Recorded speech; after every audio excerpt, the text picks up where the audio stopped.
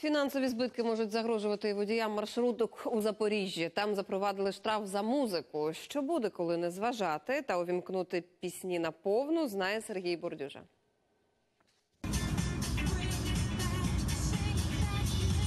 Хто платить, той не замовляє музики. Від сьогодні за гучні пісні в запорізьких маршрутках водіям доведеться платити штраф 500 гривень. Так постановили в міськраді. Чиновники пояснюють, саме музика причина багатьох конфліктів між водіями і пасажирами. Вона не повинна бути, вона не де. Вона, по-перше, відволікає водіїв. Він повинен займатися виключно своїми обов'язками. Це керування транспортним засобом, безпечним керуванням в першу чергу. Та водії кажуть, без музики в дорозі немає життя. Ну, слушать музыку в тишине ехать не очень. Скучно как-то. И людям приятно, пассажирам, когда музыка играет.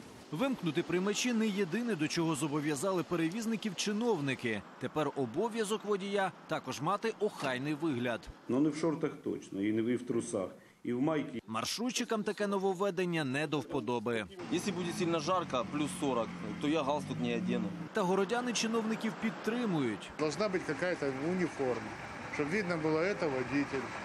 Вот. Это человек, который ну, несет ответственность за людей, которых он везет. Есть э, не очень приятные запахи от водителей.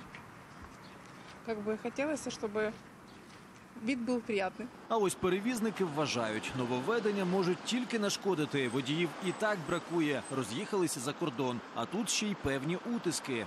Но учитывая, какой состав контингент водителей остался, это, конечно, тяжело в жизнь превратить. Беседовать, конечно, будем, но как- как мужчину можно в 50 лет начинать воспитувати. Із новими правилами роботи на маршрутах водіїв ознайомлять уже найближчими днями. А ще зобов'яжуть оголошувати зупинки.